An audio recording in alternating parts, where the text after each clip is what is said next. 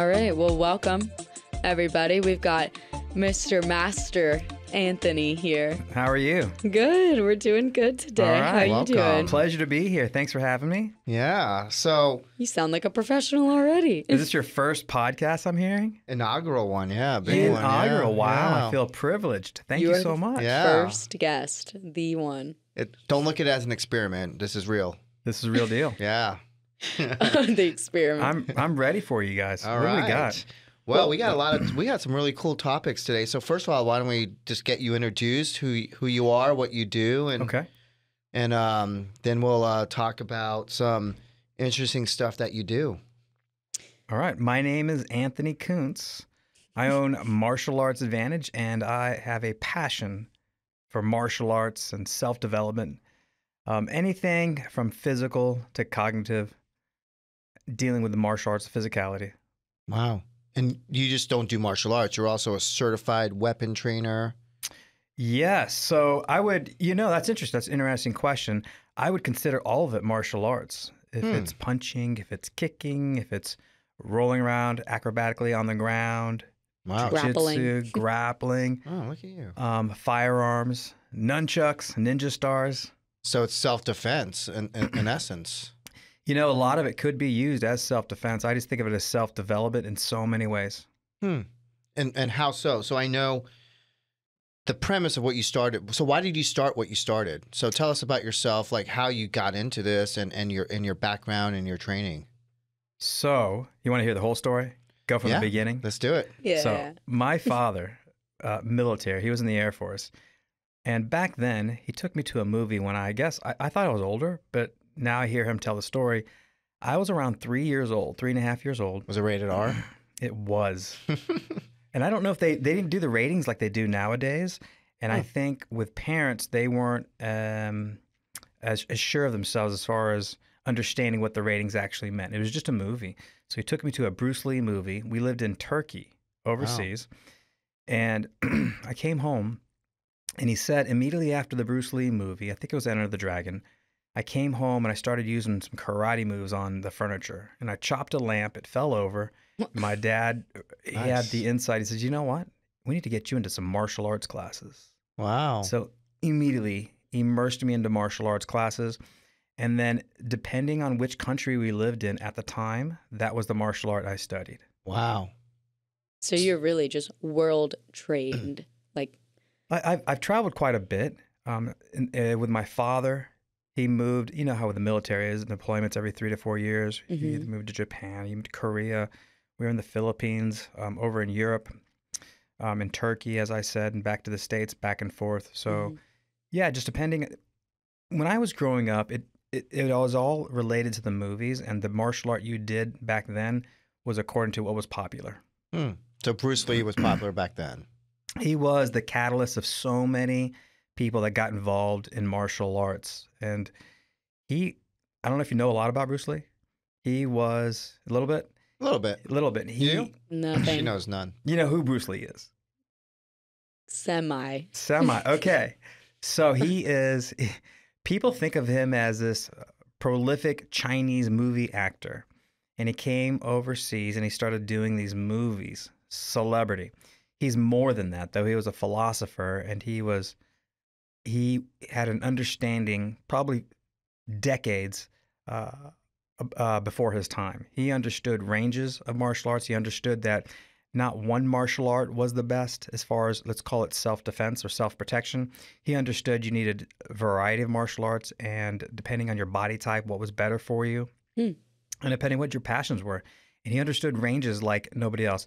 Now with the advent of the sporting event have you heard of the ultimate fighter championship Yes. ufc super popular now mixed martial arts way before then because mixed martial arts now it's it's it's irrefutable that you definitely need a variety of martial arts from standing up to being on the ground and bruce lee had that insight way back in the 70s in the Hmm. 60s Wow. And he was apparently the what the founder. Like, is the, did he kickstart martial arts back then?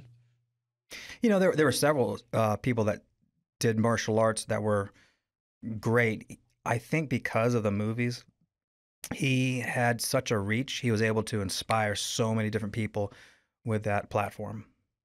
I mean, I knew nothing about it. And then I started the classes with you, and it kicks your ass. like, So you didn't know anything about martial arts? nothing. I knew nothing about it. I kind of just correlated it with karate. Right. And that's it. And I didn't know anything really about karate except for like the stereotypes or you see it in a movie or in a TV show. So why did you come to class? Krish? Well, I mean, I think most people talk about going to class like that. So I compared it to like Orange Theory, HIIT classes, and like I think a lot. The big misconception is like you actually get in shape doing your classes, right? Yeah, you can. So it's like high intensity. It's um, it's it's using every muscle in your legs. Trust I- me, it hurts. I don't know how you wouldn't get in shape doing your classes. That's it's so interesting. Well, so um, Krish came to me and said, "I want to do something for my group. I think it'd be a nice team building." And I think what the I said, "Well, what are their goals?" You know, because everybody has different goals. And his he said his goals primarily were more of a fitness component, and then to add some spice to keep the interest, let's let's add in some self defense or self protection. I said, "Got it."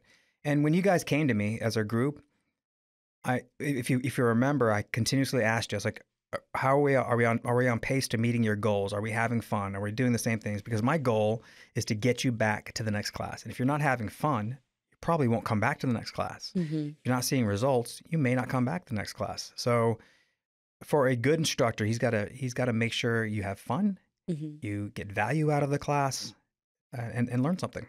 And that's for me like something you can remember how to do. Mm-hmm. So when you think of martial arts, like oh, you- get, I've done so many um, like free trial self defenses at like FSU, the police force. They would come in and show you little tricks Oh, here wow. and there, but they never stuck. Like you never truly remembered how to, in a high stress situation. Oh, I'm going to do this finger move, and I'm going to put their wrist backwards. Like Right. you, you never really left the class being like, oh yeah, if someone on the street came up to me, even right after learning it.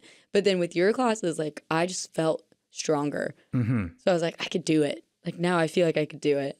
So those classes, when you learned those, when you did those classes, did you feel like you were you could apply those techniques afterwards, immediately afterwards? Yes, you did. yes. Okay. Like Did you? I felt I never had to. Nobody ever Just came checking. and tried to attack me, but if I needed to, like I could because we learned so many different ones and Uh-huh. they were more I guess they came naturally, like the body movements and the like what's the word? Hmm. I wish I knew you back then because I would have tried it and see if how well you Well, we kept actually saying- retained that practice. We kept saying Anthony's gonna come up to us in the parking lot after.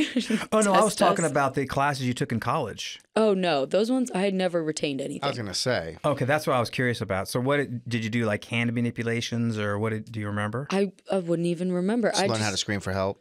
I just remember they trying to say like if a guy at a bar they kind of come up and just put their arm around you and Right. they kind of trap you in like a very casual manner from Right. like the outside appearance no one can tell but you're stuck with that person.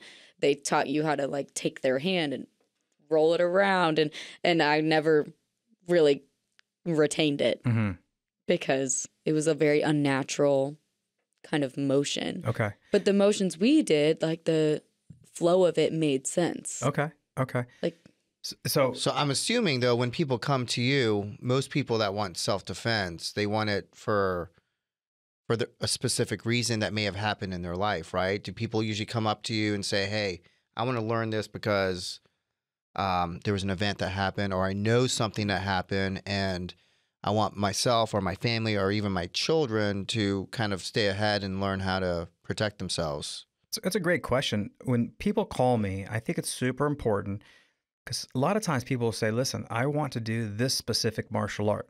And I'll say, terrific, I can help with that. Can you tell me specifically what your goals are? And then I'll try to investigate if anything happened, just like you said, in their in their recent future or a recent uh, memory or to them or to a friend. And sometimes that does happen where there's some sort of trauma and we need to address that. So I, I had a woman recently, she did a bunch of one on ones or private classes with me, and she had a, a little bit of a trauma with somebody grabbing her.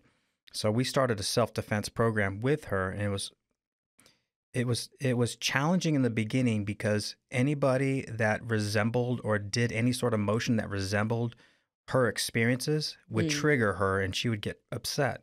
Mm. So you have to stair step stair step the program to get to a point where she could actually use real techniques to protect herself. Wow. So that is so literally when people come to you, it, it could be a broad reason why they're coming, just to get in shape, Mhm. trauma in their past, or or or or the world's getting crazy. I want to learn, stay ahead of the game type thing. Absolutely. So with adults, so at Martial Arts Advantage, we work with all age groups from three years old. And I just recently had um, a great grandmother. I think she's a great great grandmother. She's she just recently um, stopped training. She was eighty. She's eighty three years old, I believe. Eighty three years old. Um, she she's tremendous. We called her Kung Fu Nana.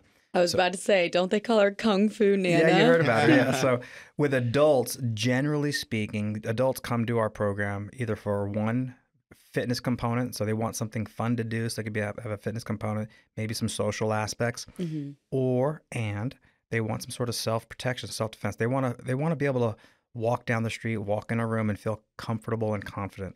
And I feel like nowadays nobody really does, especially if you're in somewhere where like there's a lot of people. hmm People get a little antsy just because of everything that's been happening with like guns, Yeah. and shootings. Yeah. So I remember distinctly we were in one of your classes and we were like, how how do you even start the topic of it? Like you went and you traveled and you taught teachers. Oh yes. So would you use each room differently? Like how would you approach this room if someone came into the room with a gun? Or did you do more of like anywhere you were? So like situational or Yes. scenario training. Yeah, abso- Basically. Yeah. Oh, that's interesting. Okay. So, um, a little bit of jumping topics, but that's as far as firearms. We did a, I work with a security group. It's called Draco Security Group, and I've traveled overseas with this, uh, uh, with this group, and we've done some things nationally. This private school hired us on to help with their teachers. We had 150 school teachers, and they wanted to know about um, in your case, in this case, the speci- specific story is the active shooting and what to do. And it's how do you broach that subject? What do you, what do you do when somebody comes into a building and you start talking about potentials? What could potentially happen? Where you know where would they enter? So you start talking about security from a perimeter standpoint, from an externally. You know, are, are we doing enough to make it challenging, make it make it a hard target for your facility? Are you do you have cameras? Do you have bushes in places where it makes it more challenging, where it creates a, a, a division of property, so you, people know that if you if you cross this threshold, oh, there there's there's an alarm there. There's a cause for concern. What's going on? What? How is your? Do you have a, a person walking up and down as security? I mean, in any school from kindergarten to college, there was never really any security.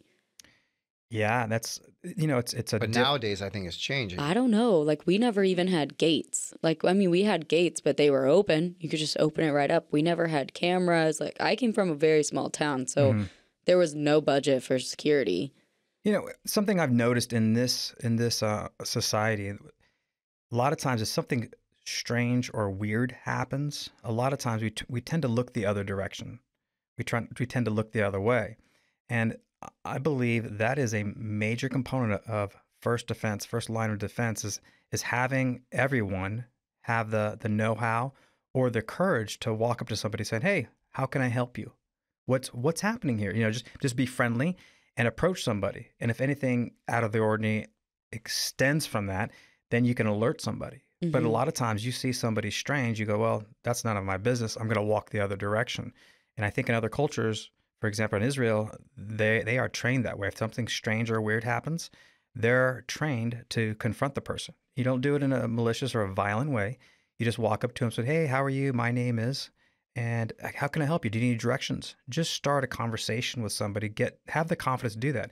And I think again, martial arts with that sort of training will help you have the courage and the know-how to do that. Mhm. Give and maybe just give you a script. Do this. So it brings situational awareness and in people because you know I remember when I came to you, it's like, you know, I said, hey, you go into a movie theater, you go into a restaurant. Like I know I've I've known some FBI agents or CIA, and they're Mhm. like, anytime you walk into a building, no matter what it may be, they know Mhm. where all the exit signs are. They know where all the you know they look at it. You know, that's it's like they process it, and and if what an active shooter were to come in.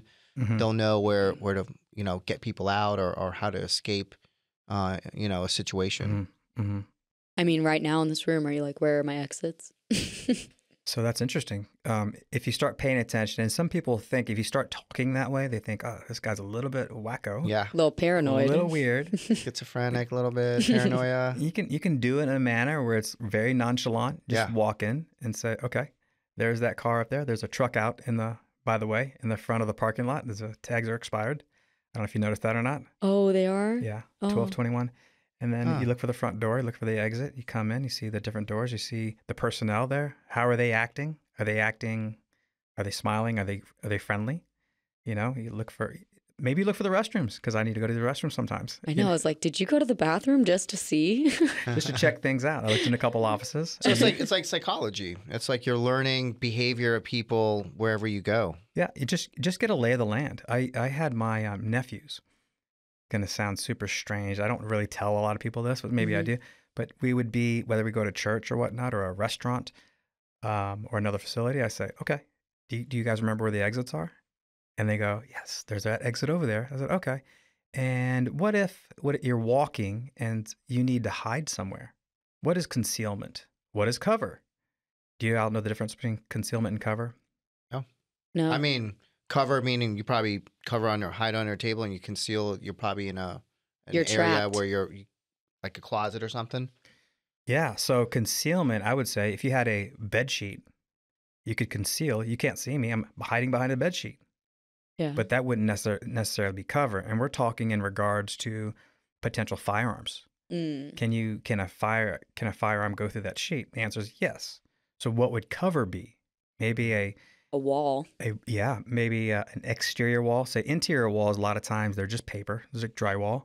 hmm maybe behind a, a dumpster, a steel dumpster, maybe behind the engine block of a car. That would be cover. Hmm. Things like that. So just if you just if you just make that part of your everyday travels, it's just it's it becomes just part of what you do. Like of like brushing your teeth. Like oh, there's the exit. Oh, there's the restroom. I guess I need to the restroom. My mom all uh-huh. the times, every time, every facility she goes to, like, where's the restroom? Where's the restroom? Because she likes knowing where the restroom is. Wow. So it is living a little paranoid, but in a good way. Eh, paranoid or just just educated about your environment. That's true. There's a different way of looking at it. Yeah. So I mean, I guess if people take it to a different level, then then it makes a big difference. Obviously. Yeah, if you're acting strange all the time and maybe eh, other people can notice that you're uncomfortable or they're uncomfortable around you, then I think it becomes, yeah, then a it little becomes obsessive. obsessive. So talking and all this and and talking about like you know shooters and everything else obviously there's a uh, epidemic in in the united states of recent school shootings with the vegas shooting as well Mhm. um, that was a serious terrorist attack that happened what so a few years ago and then even hospital shootings uh, you know there seems to be an uptick in mass shootings uh, of, of people who just go into a public area there's that walmart she even a, a- you know, an employee who's mad at other uh, people who work who work at Walmart, and and he ended up shooting several people as well. Yeah. There So- was a shooting at FSU in Yeah. the library, and it's surprising because I went there maybe two years after it happened. You would not know because there's not any improvement in No security. changes. Yeah, There's no changes, and so it's like, is is it because it doesn't really help, or they don't have the funds for it? Yeah, I, I think, you know, I think a lot of for someone to pull a firearm and to shoot somebody else or mass shootings, I think they need help somehow. Um, Mhm. you, Doc, you could probably speak on this as far as mental illness. They're they're just not right in the head. It's not, Yeah. and nobody is. That's not a, even a crime of passion. That's you're insane at that point. I, I think I think you know they, they need someone to talk to a lot of Mhm. times, and a lot of times in this in this country, uh, especially men, they're not. Uh, uh, they're almost not given permission to talk about their feelings or talk Mhm. about the pain they may Mhm. be enduring.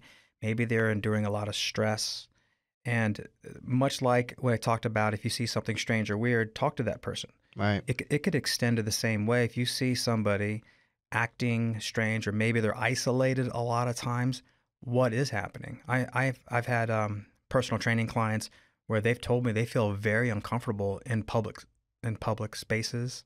Um, I've had relatives also say the same thing. They just they feel uncomfortable in groups. So I think they need someone or an outlet to talk talk to or Mhm. talk with. To I think that's a start. So you think it's a it's a culture like because this didn't happen. If you look back, what thirty years ago Mhm. or however many years ago, Yeah. obviously it's exponentially grown the number of incidences that occur Mhm. with mass shootings Mhm. or whether it be mass or just going in and, murder suicides, whatever it may be. Mhm. But clearly there's some trigger or there's something that happened. You know, does that mean there was an increase in mental health disorder? Does it, it- you know, is it because accessibility's changed? There's obviously not going to politics, but the, you know, the legal um, component of it that allows people, and maybe there's not enough checks and balances in the system that, Mhm. you know, people are able to get away with. Um, I mean, have you, because obviously you've been doing this for many years, have you, what, what's your opinion just as why someone would say the number of, of shootings have gone up and, and it's become a problem, you know, in this country because some argument is it doesn't happen in other countries as much, but it happens here more. Mhm. And I think, uh, I don't know if anyone really has a correct answer for that or if there is one. That's tricky, isn't it? Because um, especially the environment we live in today, it becomes extremely political. Am I on this side or am I on that side? And I think what what happens is we get at a standstill and and, and nothing's getting done.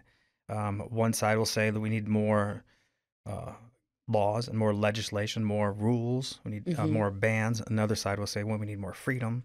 Um, I guess the argument can also go with this is isn't the same I guess same thing, but like, nowadays, uh, marijuana is is like is always argued there should be more limitations on those sort of drugs and, and whatnot. And what another side said no, it needs to be completely legalized. And Mhm. here we are today. We're we're seeing we're seeing the uh, ramifications of what's happening, and it seems like it's it's it's working. I suppose. I mean, I'm not an expert on that part, that part either. Um, I, I do think with the media and what's happening, I think what's being more publicized is the mass shootings, just the the bad news, you know, because that's I guess that's what sells. hmm And the good news isn't, and from what I've seen, the good news isn't necessarily talked about so much. For example, law-abiding citizens with firearms protecting. Uh, you don't hear Yeah. about that a lot. Then you Yeah. hear that you hear a, Not at all, really. But then when you do hear about it, it's kind of portrayed like you never hear about this. Mhm. It's it's it already has the negative that you don't hear about it. Yeah, I don't. I don't think that sells as well. As uh, it's you know somebody, or maybe it, it doesn't uh, fit the narrative as far as this Mhm. this law-abiding person with a firearm was able to thwart I- something. I personally feel like the more and more that they capitalize on the mass shootings and how they portray it in the media, it's only going to induce a copycat or another troubled kid or another troubled Mhm. human hmm that he's like, oh, they did it. Uh, Now I'm going to do it. hmm Like, so now I'm like, can we just stop t- putting it out there? Yeah. Like, it's horrible Yeah. enough to to see it happen. We don't need to see it constantly on repeat, broadcasted, and that's just my opinion that it could be. Yeah, Katie, I think that's a great argument. I think a lot of people, um, again, back with the mental illness, they're just not in the right state of mind. They start seeing all the attention given to this hmm person or group, so it, it maybe it does lead to something like like what you said. Well, I read some articles. Obviously, you know, being in healthcare, we've we you know, so we get emails sent out for another hospital shooting or Mm. A patient who got upset with his orthopedic surgeon because after surgery his pain got worse, never got better. Right. Went to his office and shot the surgeon in Oh, his wow. in his office. Yeah.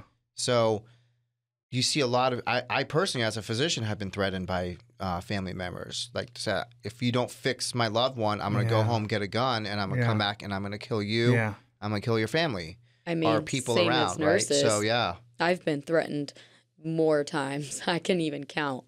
and and it's it's i guess in in that arena it's a little bit difficult because you understand people are sick and i think people's emotions are at the highest when their loved ones They're are under sick so much duress and stress. correct Mhm. yeah, So you're not even thinking right. But Yeah. nobody does any of these insane crimes thinking straight. I don't think so. It, so is it like a crime of passion? You know, ends up being like just uh, all, all their emotions, all these external forces that come in, and and you know they, they, they don't think straight, they don't see straight, and, and this is what Yeah, you know the Yeah. resolution is. they Lot- see red. yeah, It's, there's there's guys out there that do a lot of research and statistical analysis. right. Um, there's a guy on YouTube that I I think he, he's an attorney. His name's Colin uh, Colion Noir. He's an attorney. He's extremely articulate. He's a big proponent of the Second Amendment, and he seems to be able to articulate. I feel like, but he's very biased, obviously, to one side, but he seems to articulate one of the perspectives that is not being um, articulated with the other side. So he he's a good person. He does a lot of statistical analysis, and and if the media comes out with something, he he analyzes it and says, well, they're saying this because of this, but it's it's not the whole picture. Mhm. So I think that's super important to get with somebody who's actually done that type of research, Yeah. mass shootings, suicides, whatnot. I mean, I know just that at one of our local hospitals, they just started weapons screening just because they've had some issues with guns in the hospital. And from working there and just knowing nurses, like it is so easy to bring things in and out can of that. imagine. ho- It's are- so easy. Are they bringing in, what are they doing? Metal detectors, X-ray machines. I'm thinking just X-ray and metal detectors. It's medical. It's metal direct, um, detectors, but I think there's also uh, it's almost like the airport security where Yeah. it just um, it's Yeah. a little bit more specific to to weapons. I Yeah. But you know what's even scarier is it's still very limited screening and it's only to visitors and it's not with the employees. oh, there you go. and everyone's a target in my book Right. because now I'm I'm almost that paranoid person when I'm in big like airports or hospitals or just coup- really big crowds. I'm always like it could happen. Well, you brought a good point because it's not just the family or the patients. I think two or three years ago in New York, there was this resident doctor. Mhm. Um, I, I, he was from, um, I forget where he was from, but it, when when you're residency, you train with you know your colleagues, other physicians, and he came in one day and he had a rifle. Somehow he brought it in. Mm. Uh, no one knows how. Well, it He went really isn't that hard. Like Right. But a rifle is, you know, I would think at least that they could be able to. But anyways, he brought it in and you he can went conceal anything. Yeah. Mhm. He went floor by floor through staircases, knew all the exits, knew everything where people will hide, and just started shooting. There's an employee. He was a physician. Oh wow. Yeah, he was a uh, a medical doctor resident in training. So, um, you know, when Katie brought up that point, it- it's not just obviously patients and family, but it could be you know doctors, nurses, uh, environmental, you know, Like, uh, whoever. if anyone's going through stress, they say it all the time how everyone, nurses, doctors are so burnt out. Like it's constantly said, but still, I think it's a little scary that like us ourselves are not being screened Overworked. coming Tired. into your most stressful environment and Mhm. people who are just Yeah. dreading being there. Can Yeah. imagine the stress. So you know what's interesting is we um talking about that awareness. If you see something strange or weird, and then walk up to that person, say you're talking to a facility, that same thing can happen with a colleague. You could say, Mhm. "Hey, listen, I, you seem like you're going through a lot," and talk to them. Talk to them, and then from an we we could debate or talk about the different talking points as, as far as uh, legislate and what we do with laws and whatnot. But I think from an individual standpoint, just being more aware, open your eyes. hmm You know, Yeah. I, when I'm walk when I walk, generally I I generally watch and I try to see if I see any sort of they call it imprinting, where you maybe see a firearm poking out of somebody's clothing. hmm So you just look for that and you smile, hey, how are you? And you just you just do a glance. I look and see where people's hands are. You know, do they? And this is very obvious, but if they ball their hands up in a fist, like, oh, that's interesting. Like, why are you so stressed that your hands what's- are like why are they slowly there? Are you clenching? planning on doing Yeah. something? You Mhm. know, I just watch people's body posture. Watch watch the just watch all the telltale cues, all the nonverbal communication. It's interesting you say that. I'm thinking because you look at no matter what work environment you're in, Mhm. and let's say I know someone just through work purposes, and you see them like what on a weekly basis, and you know you can see various ranges of emotions during work for Sure, people, right? sure. They're stressed out or they come in happy, and but when you actually I mean, it's just hard for me to imagine in a workplace because we know people get stressed because they may have come out of a patient's room and had a difficult conversation Mm. and they may do a 180 and then they may completely change so i happen to walk through that hallway where that person's walking and, and their demeanor completely change, my impression would be they must have had a difficult encounter or something must have happened. Yes. But yet it's so hard to really register or, or, or try to, you know, figure out is there something a little bit more uh, to it than just that? Yeah. So that's that's part of it too. You talked about the psychology of it. Um, have we learned how to talk to people? Have we learned how to communicate with them? Right. I mean, it's, th- there's a certain book now that talks about coaching athletes.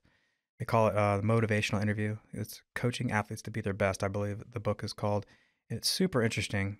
Um, my background's in psychology, and behaviorism, so I try. I tend to gravitate and listen and try to watch for behavioral cues. hmm Um, this particular book talks about how to talk to somebody, and in this case, athletes, but it could be colleagues as well. Because instead of being the fixer, if somebody has something wrong, I've, I've heard people say, "Listen, suck it up. You're great. You know, rub some dirt on it. You're gonna Yeah. be fine." hmm But maybe that's not the best answer. Yeah. Maybe they need to really express themselves.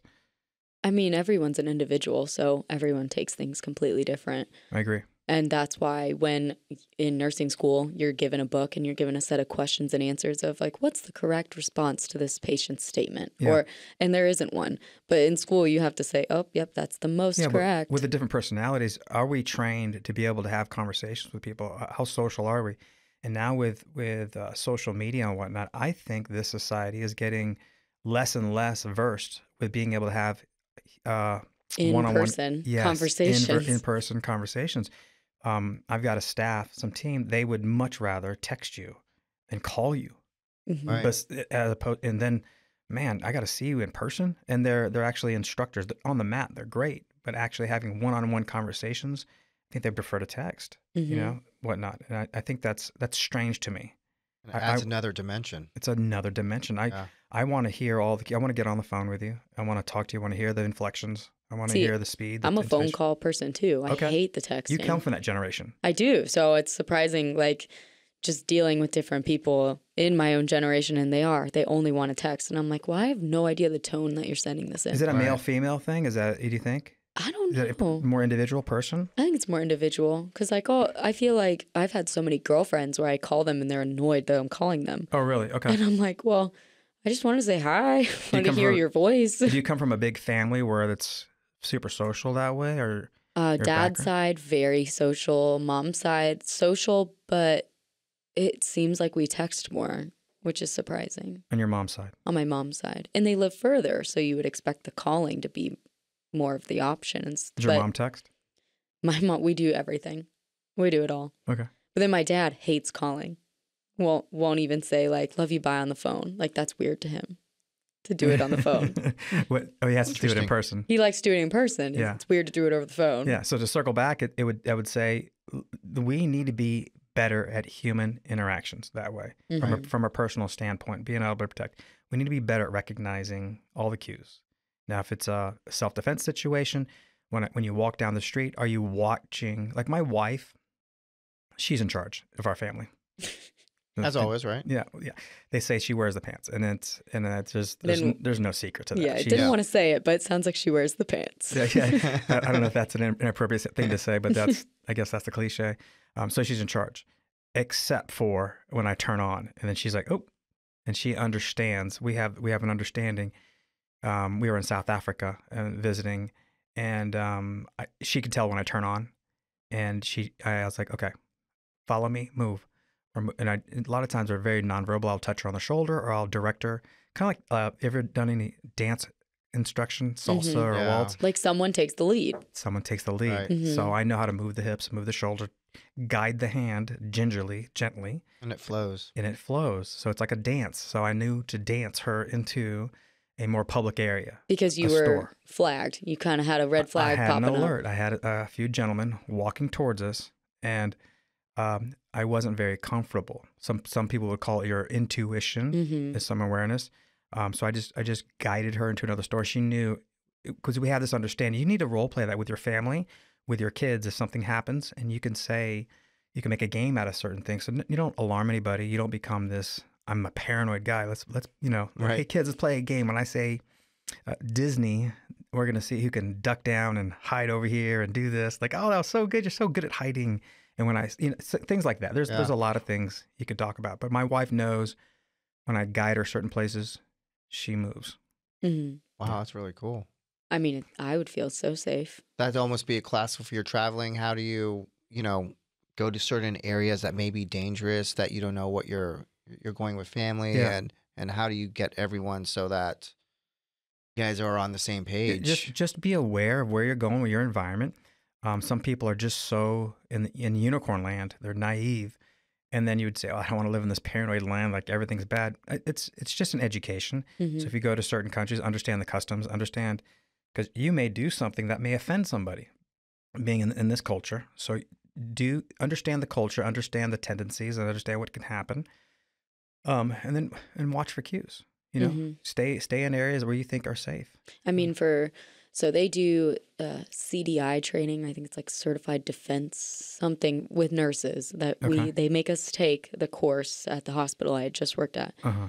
and very short course, and it was honestly laughable like the whole time it just wasn't realistic it wasn't very like scenario based they right. you just have to because as a nurse like there's only so much that protects you until like you're at fault for the patient's injuries All right. Liability. there's a lot of liability that goes along with it so if like a patient's coming towards you the only thing they tell you to do is to yell stop stand back Yeah. but your hands have to be a certain way so then you're not the attacker Mm-hmm. you have to be complete defensive mode Mm-hmm. and i remember learning it and being like okay so basically we're getting hurt no matter what because of the liability on the hospital Mm-hmm. so everything was like very in a defense you're in a, in a corner but they Mhm. tried to teach you well make sure you're in the right place in the room if you're a nurse you know you have to have you have to be in a spot in the room if, if you have to do the iv machine like Yeah. the pump the pump's over there It could you be very vulnerable, right? Right. exactly you have to be there there's a lot of heavy equipment in that room Yeah.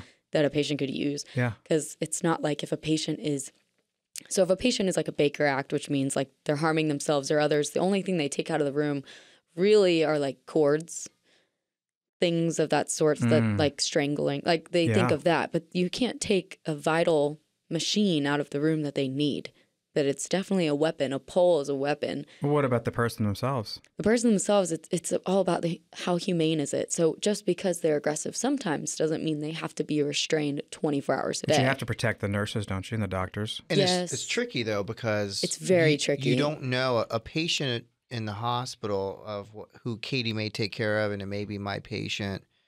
They may wake up confused. Oh yeah. A lot of people who are confused, especially different age groups, are they're withdrawing from a drug, or they're on Mm, other types of medications, may So many may variables. trigger off aggressive measures. Right. so many variables And it may not be because it's them. It may be because there's delirium. There's there's medications that's kickstarting how they feel, how they're acting, and Right. they're confused. Just like an animal who's confused will do Mhm. anything they can to defend themselves, but that confusion translates to aggressiveness to a nurse or physician or medical staff. So and there may not be intent. You're saying correct. they just they just Yeah. react that Right. way. So if you're thinking about it, I mean, we always bring up this like kung fu nana. Uh-huh. There are some kung fu nanas at the hospital Okay. that you know the delirium, dementia, sound, sundowning. Like the, as the sun goes down, the more confused oh, they get. right. So if you're at shift report, say you're a, a day nurse or a night nurse, the day nurse is like, "Oh, this is Nana. She's Uh-huh. the sweetest little lady you've ever seen." Sundown happens. Hit eight o'clock, Kung Fu Nana comes out to she could play kick some ass. Oh, wow. and she's gonna beat your ass if you're trying to give her some medications. Yeah. And if it's the family and they're walking in, like you don't, you want to make it as humane as possible. Obviously, she's 85 years old. How much damage could really be done? Mm-hmm. But safety of her too. If she's lunging and she falls, or so you really don't want to make it inhumane and put a vest restraint, a wrist restraint, ankle restraints. Like that's a lot. Inhumane. Maybe it angers them even more. Exactly. It could it could get them a little bit more riled up. I have a question. With the the course you took, CDI. Mm-hmm, that's what it was called. So they they taught you to say back.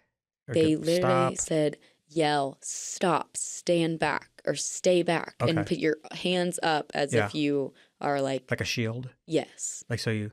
Yeah, so if you open your palm and face it outwards, it's a universal sign to stop, back off. back off So, um, but that's it that's all we get are you you're, you trying to alert like other people to come help you? yes like screaming stop stand back And the other people, if they come in the room, what happens? it's They help. They, they, assist. they help, Right? but you really you you How do can they assist though? In the safest way possible that What is this- protects that's the my- that- hospital. That's my question. What is the safest way Well, possible? verbally trying to de-escalate the situation, and then if it's coming to the point where they're becoming aggressive, then we use uh, soft restraints, or we call chemical restraints, where we give medication to help calm them down. In addition, they call what's called maybe a code gray Mhm. overhead, which brings security over. hmm they called bring in people, and they- come in uh, teams hmm where they assist in in making sure that the physical aggressiveness is not there towards the staff or each other. Yeah. And and You're saying that talking somebody down, but this is somebody maybe on drugs. You said, or not out right of in the their mind. Yeah. I mean you still have to verbally try to, you know, talk them down by de-escalating the situation as much as you can. You Yeah. have to. Well, and then you know, look, if I'm I mean, if if Katie's acting as aggressor to me, I mean, what's our first human response is to try to talk it down, right? I mean, that's the first For thing sure. you have to always For do. sure. Verbal. Yep. So knowing that even if they're on medications or anything else, it's not really them. But you know, I think a lot of times we're able to accomplish the goal of trying to bring them down, calm them down. Certain Right. maybe verbal cues. You know, maybe oh your your husband's coming. Yeah. In the next thirty minutes, he wanted to make sure you're okay, but he's on his way. And then, but, oh, he is. Like all of a sudden, they kind of They calm you down. Know? Yeah. Yeah. They yeah, calm you, you jilt them out of that, that Yeah, mindset. Like, yeah. oh, your husband's coming. Oh, did you see this picture of what? Like, Yeah, and I gotta just- say, nurses are amazing at doing that because they're just, I think almost every other patient they have, they have situations where that happens. I, You I got a story about jilting somebody. I want to. I want to say though, um, the goal is to protect you, yourself, your staff, your team, and that the patient as well. Keep everybody safe. Do they talk about how to stand? Do they talk about the angle of standing? Do you stand facing them? Do They, did. Do they talk about your hands go here when you're saying hi to somebody? But the it- it's it's got twofold applications. And um, if they go to reach for you, like grab your hair, Oh, I've your- been assaulted in so many ways, and it's really what they train. It's impossible because what you do is so close to the patient, so hands on to the Mm-hmm. patient. Like I'm always an inch from them because you have to be, or if I'm cleaning them or doing a wound care. well, not only that, you have needles that you Oh, wow. you are Yeah. also trying to maybe draw blood Yeah. or, or put an IV, Yeah. and and they're being aggressive. Yeah. So then there's the safety of blood.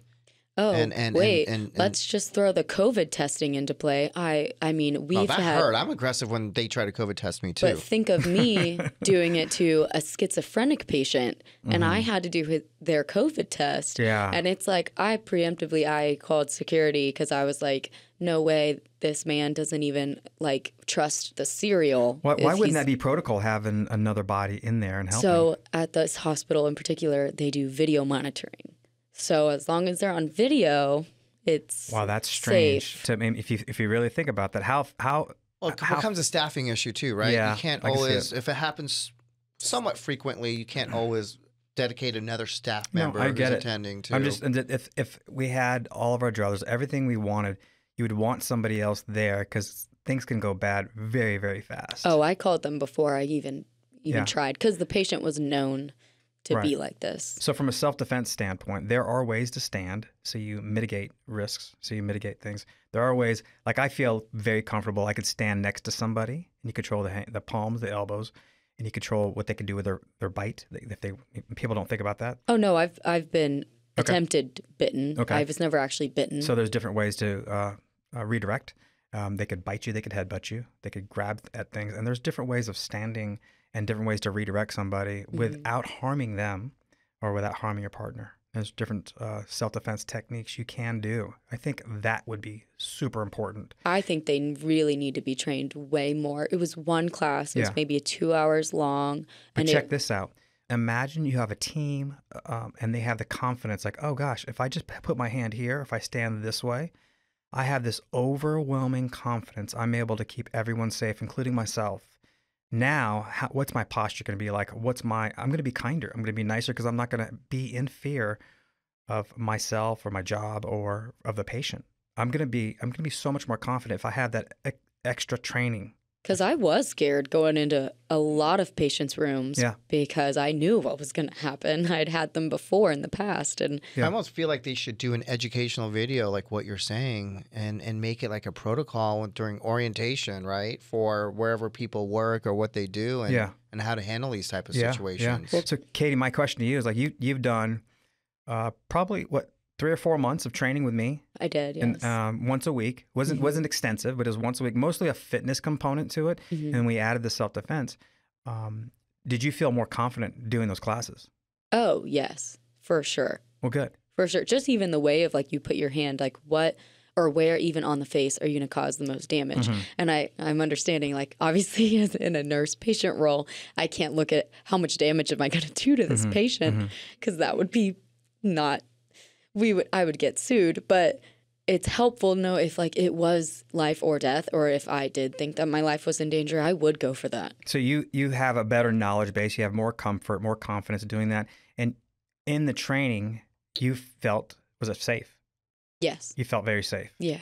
Did see people, Krish? Um, people talk to me. You, I think you talk to me when people start talking about doing martial arts and Mhm. whatnot. They they they tend to think, ah, you know, that martial art. Some people say it's for kids, right? Is it for kids? It's not really for what I'm trying to do.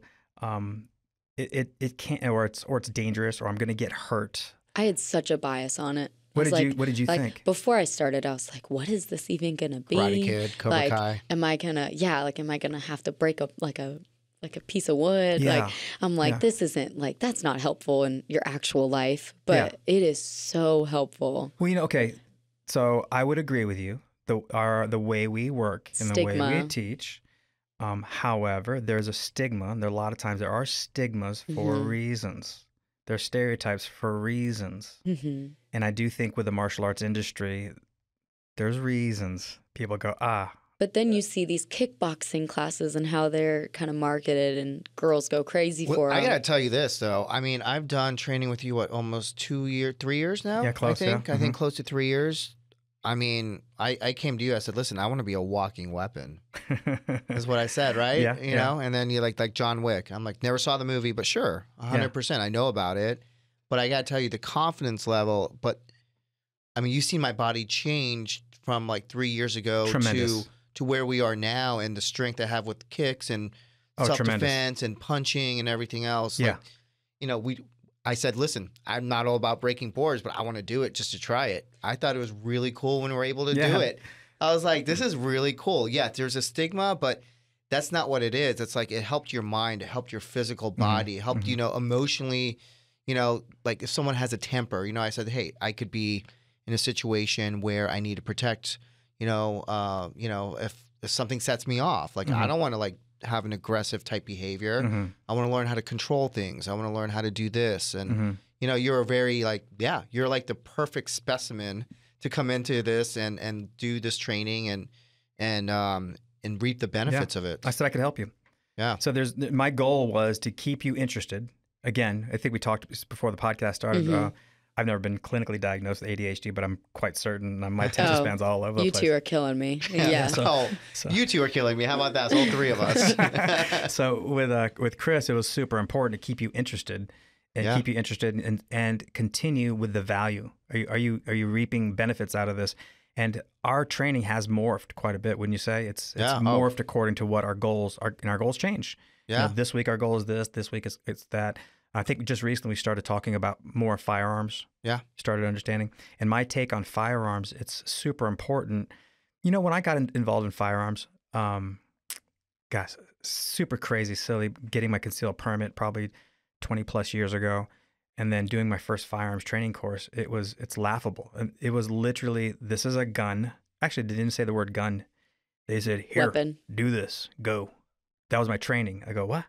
I can imagine. And I, the only reason I wanted to do uh, firearms training at that time is I had a, a martial arts instructor. Um, he's out in Arkansas, Danny Dring, and he came to me and and uh, he was teaching uh, I think a jiu-jitsu class probably 20 plus years ago. Um, and I, I did a lot of kids camps and whatnot. And he he asked me about guns, and I was like, ah, no, I don't, I don't, I don't touch guns. I don't. There's Because no. you do everything else. Yeah, why, why would you touch a gun? They're they're crazy. It's deadly. It's dangerous. And he, he struck a chord with me he he uh, attacked my ego, not deliberately. He was Right. just just matter of fact. Yeah. He said, "Listen, if um, if you don't understand firearms, you're not a complete martial artist."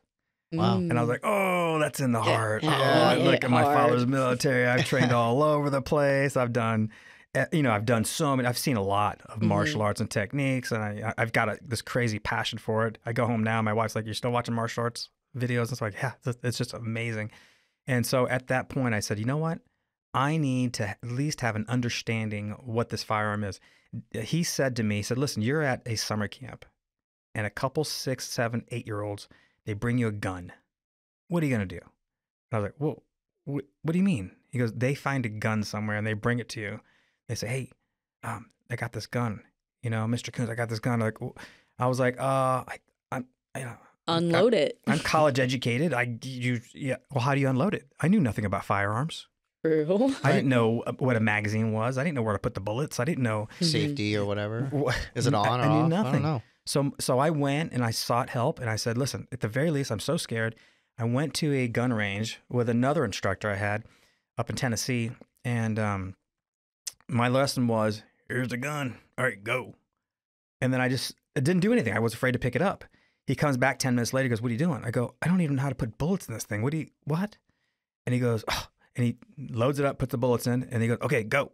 Yeah, he does it for you, and it's like Yeah. you didn't and, learn and he left. And I was like, uh, and I and I just sat there. I just sat there looking at the gun. Then finally, I said, you know what?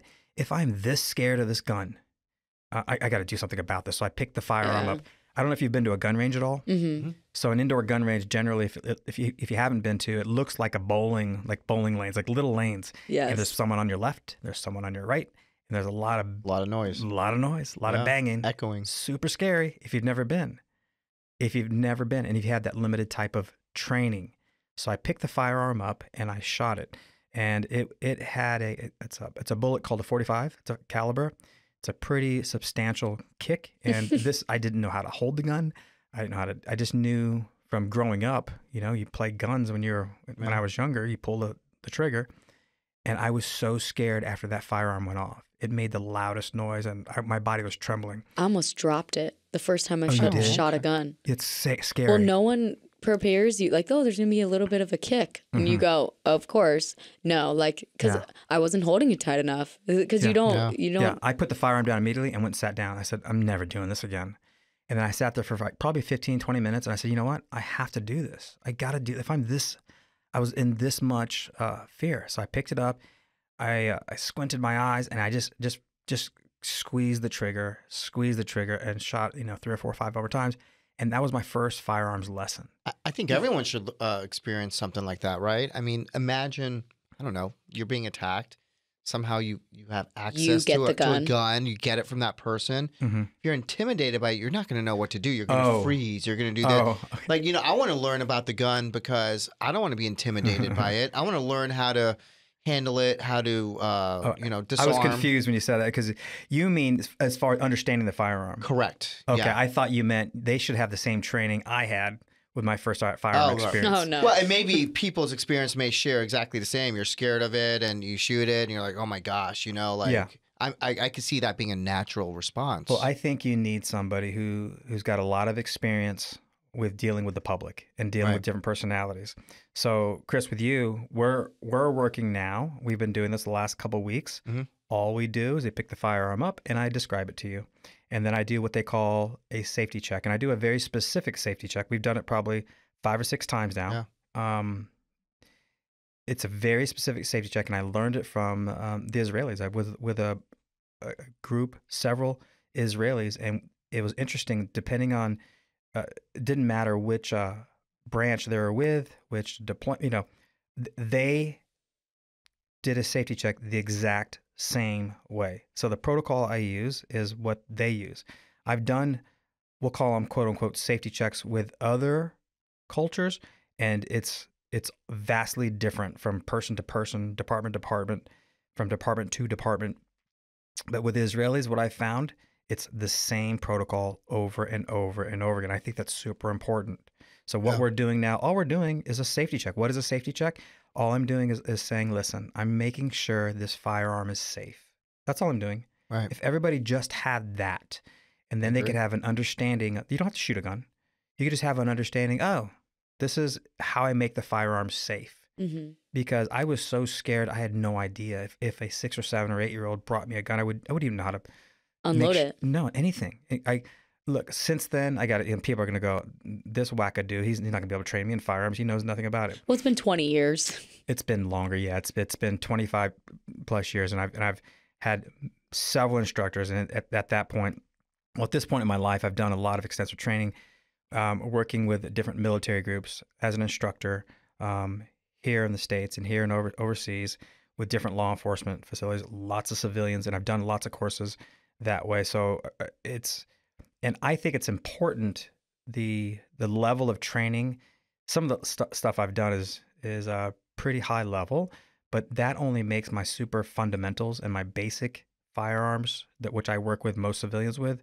I'm super confident with it Mhm. because I know I could do this much higher level training. That's kind of like the martial arts. If you've done high level martial arts and, and being able to protect yourself, the simple stuff you're able to to do Pretty much cool. much easier. Yeah, that's really awesome. So that's I what think we're working everyone on now. do it. We're doing just learn how to do a safety check with your firearm.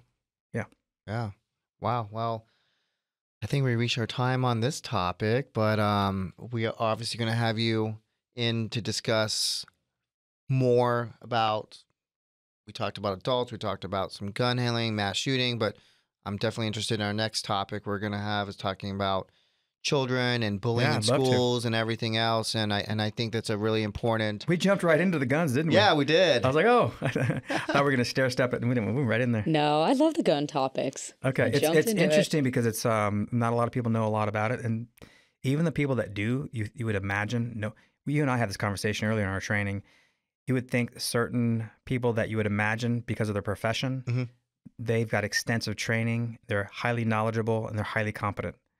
Um, I I have found that that's not necessarily the case. Right. And you've trained law enforcement and, and big people all over the world. So Yeah. a little scary Well, sometimes. if they're know that. getting the same training, that's kind of scary too. Who's that? like if they're if all police officers are getting trained the exact same way, that's a bit Well, that's that's the Scary. fu- that's the interesting thing. I think depending on the department, depending on their commanding officer, they're getting trained differently. and I- then it's you learn right from the get go your partner, right? So then isn't it the two of them? They do the ride alongs for a really long time. oh then they start working. yeah, it's it's, it's just like sharing bad habits, right? Yeah. It could well, it's it's it. We went with a, uh, a SWAT group. Um, it was up in Georgia, and we worked training with them. And I remember the our our, our head. He was my CO. He said he said you know he had a bunch of guys coming. We- We did a half day training, and I was working with a group of SWAT members. I think there was I don't know uh, twenty or thirty guys. And um, within the first couple hours, they were raving about the training. So my CEO gets called over and he goes, "Hey, what are you doing?" And I go, "What?"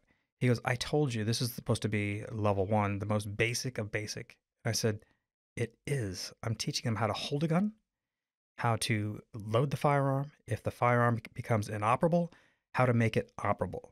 He goes, "What? That's that's it?" I go, "I haven't taught them anything yet. I they're they're barely able to take the magazine out of their vest." That's terrifying. Yeah, absolutely. Yeah. Well, th- th- but by the way, that same group, amazing gentlemen. They are um, so nice and humble and incredible shape, and they they wanted to learn, so they were so excited. And they hire groups all around the country to bring them in. They've actually had, not to brag about the group I was with, they they actually brought in a high profile group to come train them, and they said after the first uh, uh, two days, they were like, okay, we've shown you everything we can show you. What do you guys want to work on? We have three more days to work. And when I worked with the group, we worked on the most fundamental of fundamental things. When I was like, I haven't even touched the surface of anything we can do yet. Wow. I mean, it's, it's obviously it's a lot, and probably people out there who we think are trained could utilize probably a lot more training to really get it done right. Yeah, the only reason I talk about that is because, again, that that extends the confidence. We can take super simple things like making sure a firearm is safe, Yeah. making you confident just to be able to go, okay, that that gun's safe. Yeah. Yeah. Well, that was an amazing topic. I mean, I can uh, we could talk about guns forever, and I'm sure we'll obviously bring you in for further discussions on uh, you know topics that we've talked about because I think there's a lot to expand on on those.